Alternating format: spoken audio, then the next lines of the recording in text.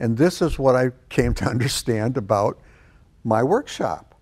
Is that uh, I've changed a lot of things and what I'm going to be talking about in the workshop because I want to introduce this. Because this is the difference between what this book is talking about for therapists. It's a linear thing.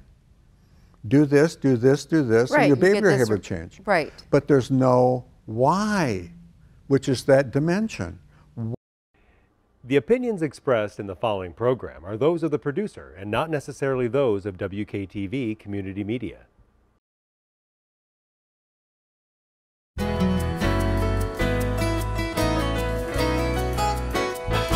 Hello, West Michigan. This is Grand Tap Media Business TV. My name is Pamela Keim, your host. The spirit of the show is to introduce West Michigan to all the businesses, nonprofits, individuals that can help us thrive in our lives. Well, we have a good guest for you today. and um, he has been on my show. He actually came in today and said it's been four years. And he is a professor at Central Michigan University and he does workshops and, and he is a coach, a consultant, but he's the owner of White Raven Consulting. And he's going to be talking about this book, Motivational Interviewing to Help People Change. And he has some workshops coming up, and he's going to share a little bit about those and how you can come to those workshops to learn to help, I guess, people change. Yeah. I want to welcome to the show Dr. Kai Sorensen today. Uh, today, thank you so much for coming into town to talk about this. Good to see you again. It's been a long time. When you hand me this book, I'm like, are you kidding me? and basically, you're going to have to share about that and what these workshops are about and who are you and what do you teach and how we can. Many people want to help some people change in their life, Sure. but maybe maybe they're going about it all wrong. And you're going to be talking about one thing that we confuse empathy with sympathy Right, feeling sorry for somebody, Yep. and we use it all wrong to motivate change. right. So thank you for coming on to my You're show welcome. a little bit a You're day and talking about it. So look into the audience there in that camera. Who are you? And what do you do? Exactly, did I explain that right? I think so. Uh, well, I teach part time for Central Michigan University, mostly graduate level classes. And for, well, I guess maybe the last 20 years or so, I've been searching for a way to express some of the things that I have learned over the years of working with students and working as a consultant and working in a variety of other aspects and businesses. And one of the things that I have come to understand about social workers, therapists, counselors, psychologists, etc., is that empathy is a very important part of working with someone who wants to change their behavior. So when somebody comes to a therapist or a social worker, sometimes they're volunteering to do that because they want some help. Sometimes they're assigned that, maybe because they're coming out of uh, some other issues that they had in their life, and so they were told to go to that. Um, but for the most part, therapists and counselors and psychologists are all attempting to help the, their clients come to a different perspective around their lives. And for the most part, what happens is they want to use empathy to try to do that. And for most of the people in our culture, they don't understand what empathy is. So you will ask somebody, "What do you think empathy is? Do what? What does empathy look like?" And they'll tell you, "Well, standing in somebody else's shoes." Is that a You, right you can't. You can't stand in somebody else's shoes. You can't. So you have to try to understand where the other person's coming from. Now, typically, and I'm guessing this happens to you all the time, Pam.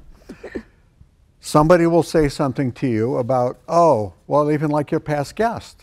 Right, you just met okay, her. Okay, we just met her. Yep, She's in a Mary wheelchair. Kay She's written a book. She's doing a great number of things. And she was talking to us a little bit about what happens when people interact with her. And so here she is in a wheelchair, and the person says something to her around, Oh, I know what you mean. I understand what's going on with you. I feel the empathy for you because my mom had to live in a wheelchair. Okay? Well, I can bet you 100% that whatever her mom's experience in that wheelchair isn't the same as your past guest's experience in that wheelchair. But because they were in a wheelchair, you think, well, they have the same sort of interactions. They have the same sort of issues. And the same thing happens when people come to a therapist. And the therapist says something like, Well, what did you do this weekend? How did we, the weekend go? And trying to find some information about that. Correct. And they'll say, Oh, well, my husband and I had an argument and it didn't go very well, and he slammed the doors, and I had to walk out of the house and get my centered again. And the therapist might say, Wow, you know, I understand what that, that's like because, you know, I've gone through that too.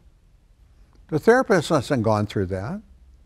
The therapist may have gone through something like that, but it's not the same thing because this person's environment, this person's experience with those people in their lives isn't the same as your experience. But because they're telling you a story, here's probably what happens. You tell me a story, Pam. You tell me a story about something that, that uh, happened. Uh, just make one up. What, something where there was an issue that you couldn't resolve very much. Just give me an example. Uh, well, uh, uh, the biggest one I come across is that, you know, being divorced Okay. put me in an arena of divorce world, which I've never had.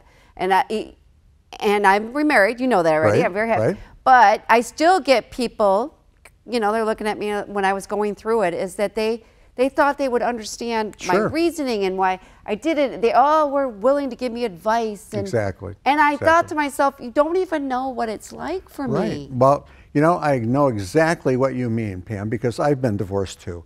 And let me tell you about my divorces. Now, see, now this is what happens. People think that I'm empathizing with you because I'm saying, oh, yeah, I know what you mean because I've been divorced too. And so then I take the whole thing away from you and it becomes all about me.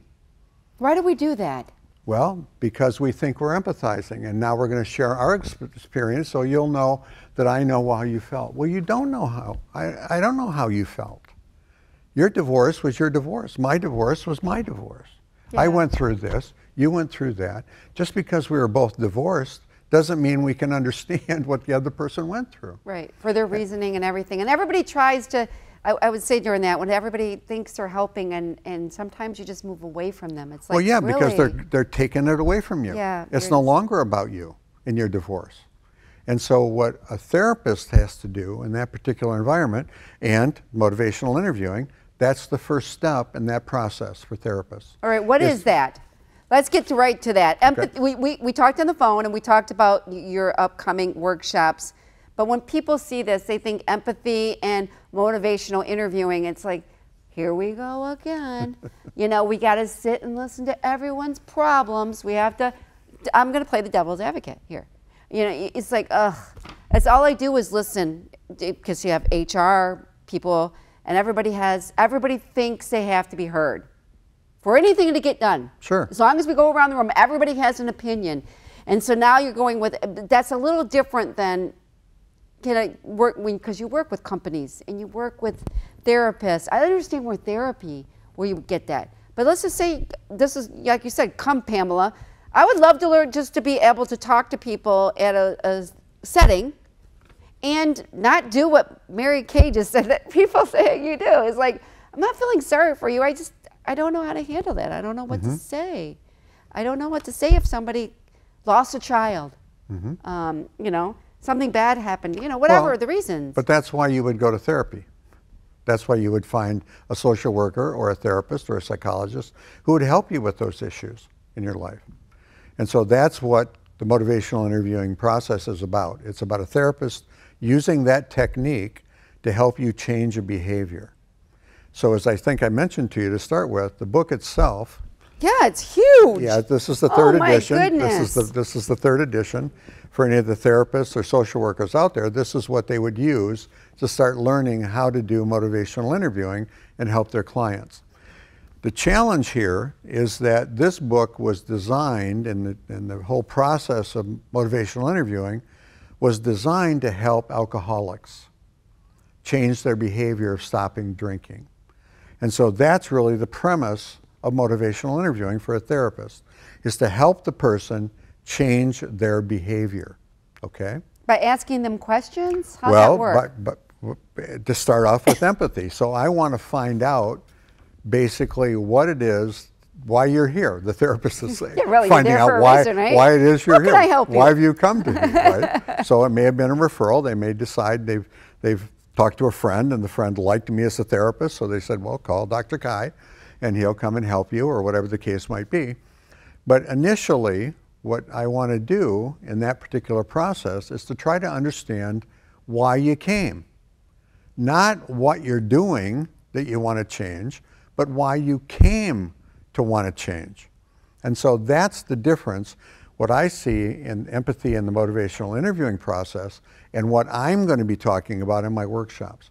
Because I want the therapists and the counselors and the psychologists who come to the workshop to understand what empathy is really all about.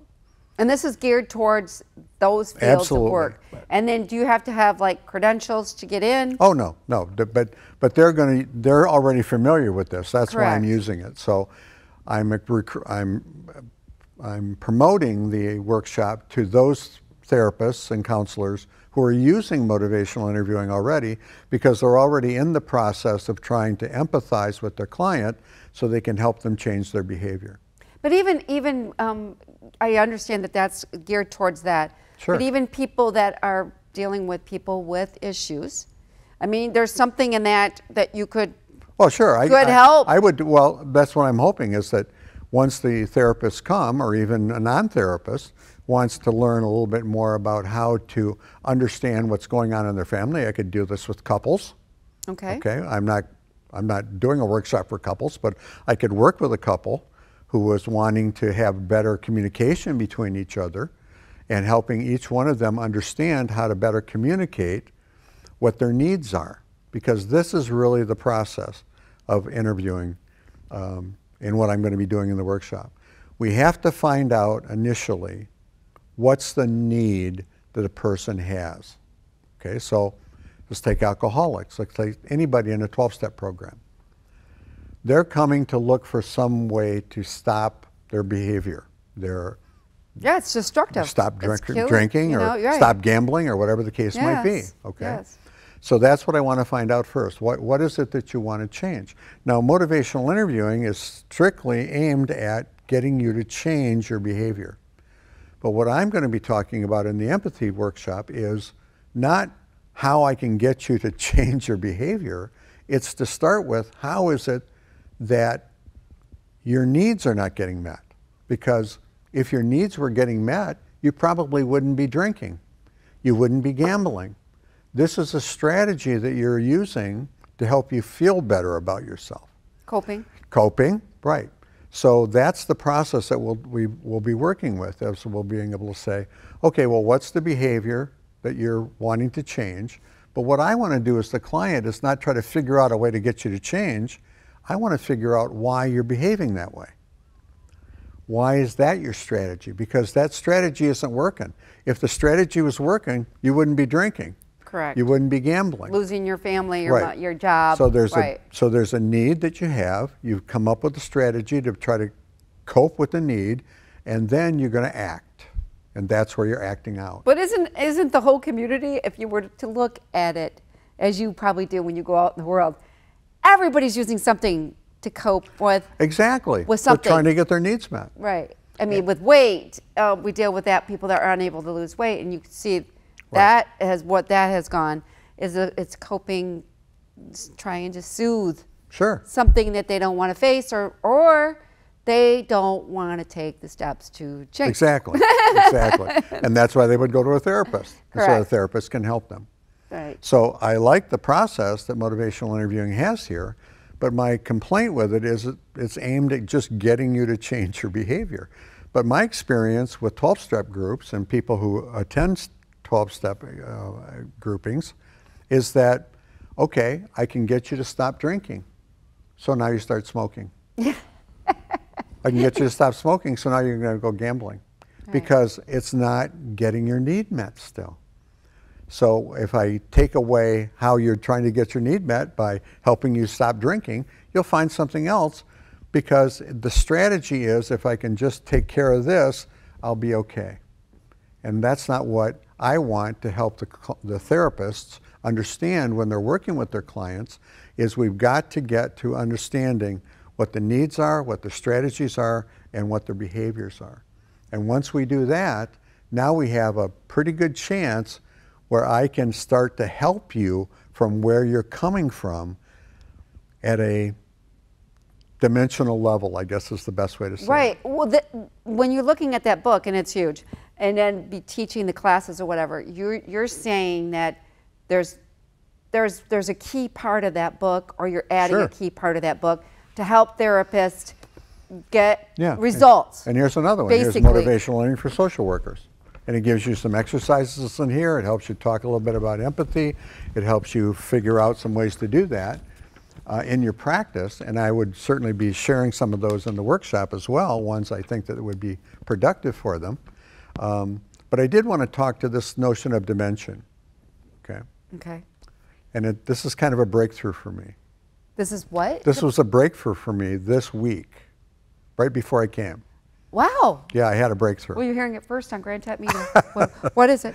So, um, what happened was, I was going to speak at the uh, uh, one of the gatherings that I speak to as an as a minister. I'm Okay. a or, or, ordained minister who as a non um, uh, non-denominational. And there's this group in Jackson that I go and speak with occasionally.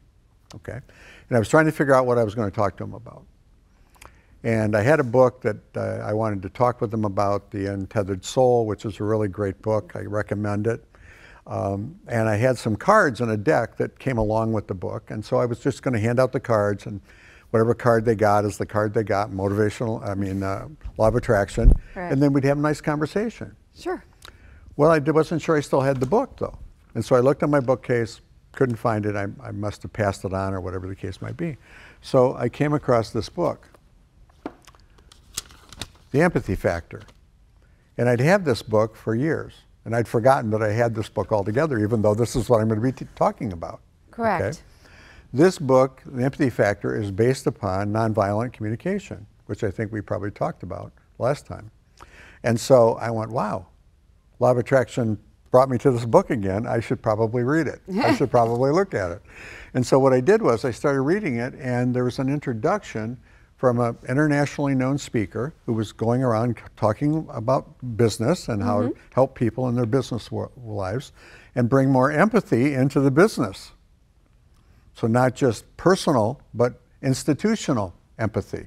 Okay. How can we how can we motivate that within an organization? That's what he teaches. So he's talking in his book about one of the talks he was going to make. At his at his uh, he was hired to come in and talk to a company, and so the introducer, like you, said, "Well, what is it you're going to be talking about today?" So I can introduce him. And he said, Well, I'm going to be talking about a book that I read called Flatland. Flatlanders. He said, What? Flatland? What's that? He said, Well, it was a book written in 1884. And it's a book about flatland. The world is flatland. And so there's no It's a third small book. dimension. There's no third dimension.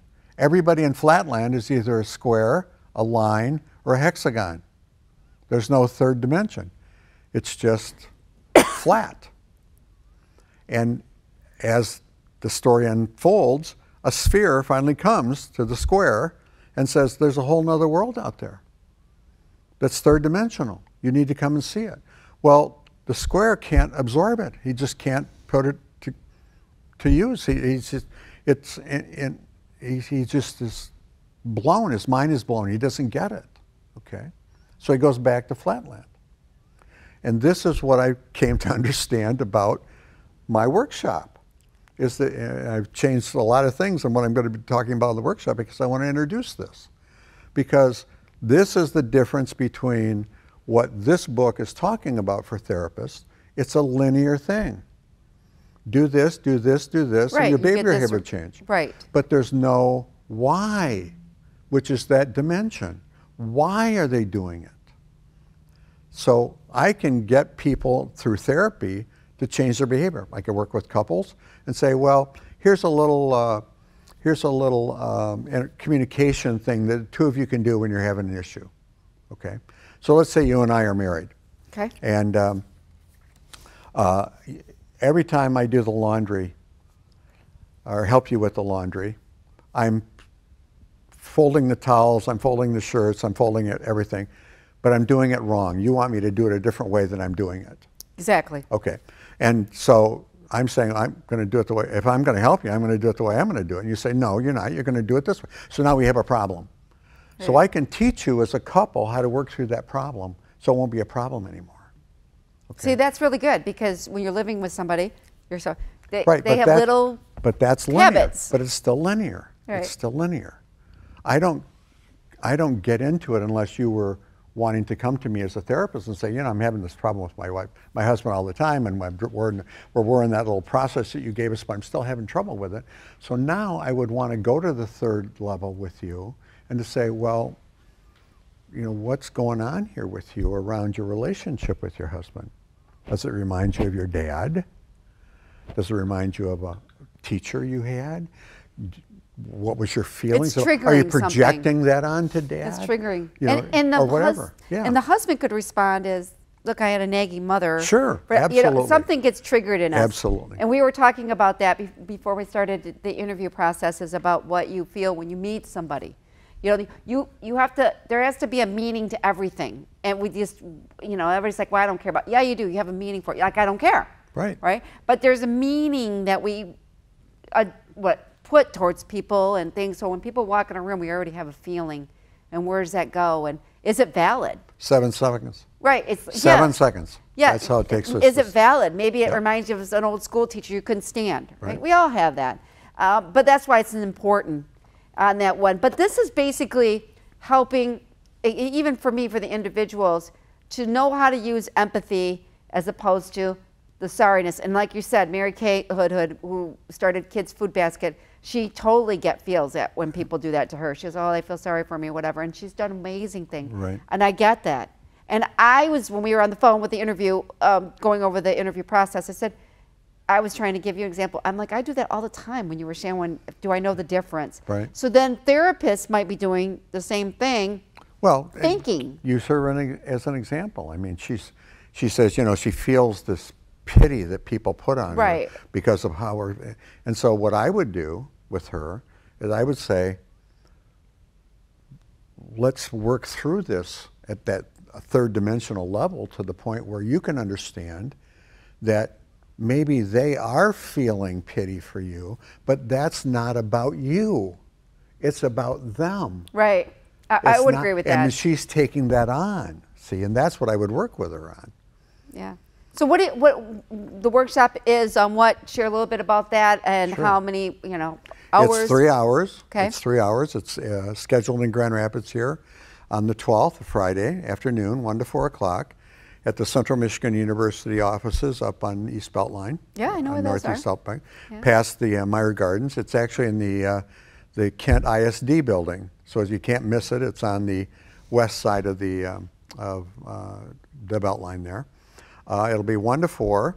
Uh, it's cost us forty-five dollars for therapists, uh, counselors, um, social workers. It's forty-five dollars, and they get three credits, three um, continuing education credits. Oh, through- wonderful. See that you'd be able to add that. Exactly. Because they have to do that every year, right? Yes, well, up they their have license? they have three years. They have us to collect years? those uh, educational credits, and so it's a good it's a good process. Uh, I'm working that on LinkedIn. If you have some some folks out there who aren't uh, connected with me on LinkedIn and you'd like to get more information, just go to my page uh, on LinkedIn. There's a video there that talks a little bit about the workshop, It tells you a little bit of how to sign up for it, and uh, or you can just contact me directly uh, through this Through- through this presentation. He's today. basically a link, LinkedIn. You know, that's how I communicate with him. And they're going to be walking. It's a three-hour. And it's on a Saturday. Is it a Saturday? Friday. It's a Friday afternoon. Friday afternoon. And Which is usually social workers and therapists don't have clients because the clients don't want to come Friday afternoon. They want to go like, home. "God, I Yeah, already feel bad. exactly. I don't need to do that. but I would think that if you needed to learn anything, is if you use empathy right, is what you're saying. You're going to be able to get more results from your clients, maybe even in relationships. And once you learn this, I, I wouldn't say it's a trick, but you understand how to communicate better. It's a process. Process Right. that you'll be able to get more, maybe even out of your children and stuff. And I think that'd be great. I, I'm always looking for, you know, Yeah. communication Well, this skills. is interactive. So what I'm going to be doing is I'm going to be introducing that in the first hour, a little bit about what the process looks like. And then the last two hours, we're going to be doing the process. So they're actually be practicing this with each other. Right, you need to practice. And it's a wonderful set of exercises that I put together to help them get at this notion of empathy. You know, let's get deeper into what's going on for the person because every person's going to be a little bit different. Uh, I have a friend, uh, my girlfriend, and I like to go to dancing. She's a she's a ballroom dancer, swing dancer, uh, and we were at an event, and she said, um, "Oh, by the way, one of the dancers is a therapist." I said, "Really?" So I went, I went over and started talking to her a little bit about this. I, I, I didn't know her very well, so we had a real nice conversation, and she said, "You know, maybe this would be good for me because I've got a client I've been working with for two or three years, and we just can't get any more." you know, I can't help her get any more than what she's go- going through, and so we're kind of stuck. And I was thinking, I'm sure this happens to a lot of therapists I bet you and does. psychologists and and counselors, that they have people who are maybe now addicted to the therapy. the friendship, Yeah. too. And you know? and I think this is a good process for therapists who go to therapists because that's a really important thing for therapists, social workers, counselors, that they have somebody to talk to because otherwise they're just carrying all this around with their clients. Oh, that makes sense. And so Yes. now they can sort of talk a little bit about what that feels like to them for another counselor and help them get some straight answers around uh, how can I change my behaviors? How can I open up more and help my clients? And so speaking to another professional is another way to do that. And that's usually what it is. And therapists have to know that. Sometimes you go and you're not willing to do the work. Exactly. And you know, let's let's get to the point where on these workshops to learn maybe you can help in a social setting, maybe in a family situation, whatever, leading people Oh, family situations. to yeah. get to improve your situation, to improve your home life, and maybe they don't even know you're doing it. Right. But learn uh, because the best thing you can do is, is is stronger families make stronger communities and workplaces because they Well- all trickle into each other. Well, sure, but one of the places where we get stuck is that somebody would ask me in a family reunion or a gathering with friends, uh, you know, I had some surgery on Tuesday. We talked a little bit about that. I had a had a uh, melanoma on my wrist, and so I'm recovering from that now. So I might talk with somebody about that, and then they start to take it away from me about surgery they had or that melanoma or whatever Guess the what case happened to might be. me? You know, we And so I that. have to understand that that's Yeah. still going to happen, even though I know that they're trying to take this away from me. And so I still have to be patient with that, knowing that they're not really trying to one up me, Right. but this is just the way that they know how to do it. exactly. That that's how they do it. They think that's sympathy, but Well, just not. talking to you on the phone, I'm, I'm trying to have more learn empathy the way it should be, um, you know, experienced. Sure. And showing that one. And so that, that'll be a little bit for me to have to, I reflected on that. I shared it with my husband. He kind of just smiled. I'm like, I know. you know, anyways. But all right, we got to wrap this up. So look in there one more time where they can reach you, all you nurses, counselors, psychologists, or maybe people that just want to learn how to communicate Sure, better. they can they can reach me at uh, on LinkedIn, uh, Dr. Kai Sorensen. Uh, you can reach me as a um, email, and the email is www.dr-kai.com. That's my word, website. Okay. dr-kai.com. It's my website. And email you can reach me at drkai93 at gmail.com. Oh my goodness. Okay, thank you very much. And you can look me up on the web. I'm- Well, it's so wonderful to see you. Thank you for driving in and sharing your workshop. Thank you. And I do believe that empathy is, if you use it correctly, you can really help change relationships in, Yeah. in your workplace. So thank you very much, You Dr. bet. Kai. Good to see you All right. Let's do right. this again in less than four four years. Yeah, really. Well, that's Well, I'll not- see you in the workshop. You're going to come and Exactly. I'm going to check that out because I love learning new Yeah. communication skills. This is Pamela Keim from Grand Tap Media Business TV, and we will catch you next time. Take care, everyone.